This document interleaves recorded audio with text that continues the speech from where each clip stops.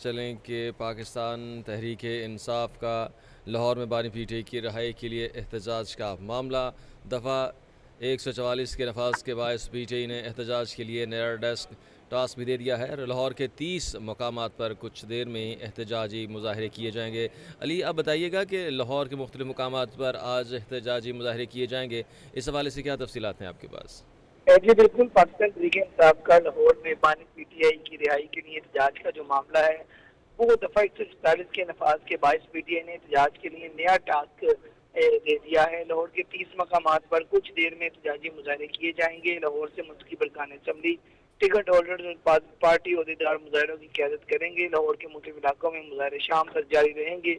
एहतजाजी मुजाहरों का जो मकसद है, बानी तरीके इंसाफ की रिहाई, महँगाई और बिजली के बिलों में होश इजाफा है पुलिस की जानब से। गिरफ्तारी के बायस भी गिरफ्तारी के बायस भी डी ने एहतजाज के मकाम का ऐलान जो है नहीं किया है, खुफिया तौर पर रखा है। जी। अली तारिक लाहौर से आप हमें अपडेट कर रहे थे। आपको बहुत शुक्रिया।